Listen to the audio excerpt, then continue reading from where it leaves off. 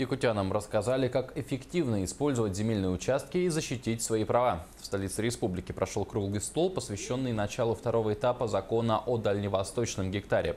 Участники отметили, что подача заявок на получение бесплатной земли с помощью федеральной информационной системы вызывает множество вопросов. Поэтому Торгово-промышленная палата Якутии и Республиканское общественное движение СИР решили разработать практические советы и рекомендации по оформлению участков возможность такая есть, и она уже наступила.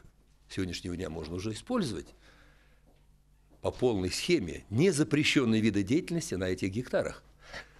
Осталось только понять, как не просто правильно оформить, а эффективность оформления, вернее, использования этих гектаров.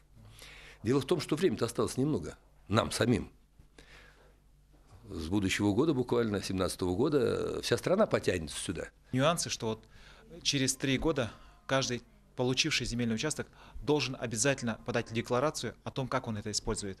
В случае, если он будет нецелевым образом использовать, этот участок могут у него изъять. Это опасность, и люди должны об этом знать.